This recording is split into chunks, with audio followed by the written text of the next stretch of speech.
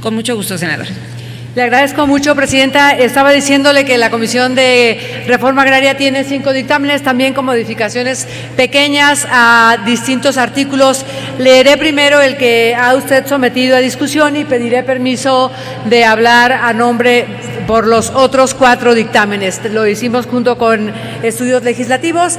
Este es un proyecto que reforma el artículo 37 de la ley y que tiene como objetivo principal equilibrar en igualdad de oportunidades a hombres y mujeres, estableciendo expresamente la necesidad de que las mujeres cuenten con una mayor participación en la toma de decisiones dentro de las autoridades u órganos de los ejidos o comunidades. Esto con la adición de un segundo párrafo al artículo en comento que establece que las candidaturas a puestos de elección que integran el Comisariado Ejidal y el Consejo de Vigilancia deberán integrarse por no más del 70% de candidatos del mismo género.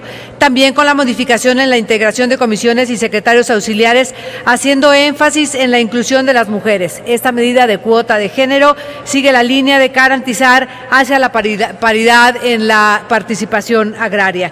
Si me lo permite, Presidenta, tenemos otro proyecto de decreto que reforma los artículos 12, 17, primer párrafo y 18, fracción 3 de la ley agraria.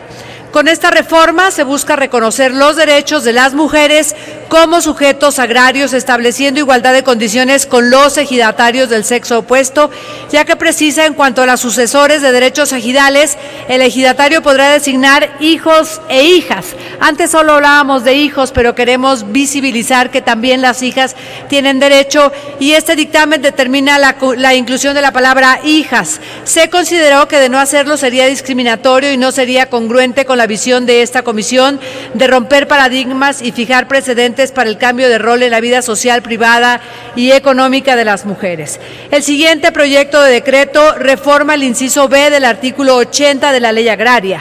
Esta reforma busca establecer que en caso que se desconozca el domicilio o ubicación de las personas que gozan del derecho de tanto, el cónyuge, la concubina, el concubinario, los hijos, tratándose de la enajenación de derechos parcelarios que prevé el artículo 80 de la ley agraria, la notificación será válida siempre que se realice el procedimiento pertinente que establece la misma ley, el cual dispone que la notificación hecha al comisariado con la participación de dos testigos o antefedatario público, surtirá los efectos de notificación personal a quienes gocen del derecho de tanto. Al efecto, el comisariado, bajo su responsabilidad, publicará de inmediato en los lugares más visibles del ejido una relación de los bienes o derechos que se enajenan. Con esto se garantiza la protección del núcleo familiar con referencia a la enajenación de los derechos parcelarios de los ejidatarios. También tenemos una modificación a un segundo párrafo del artículo 115 de la ley agraria.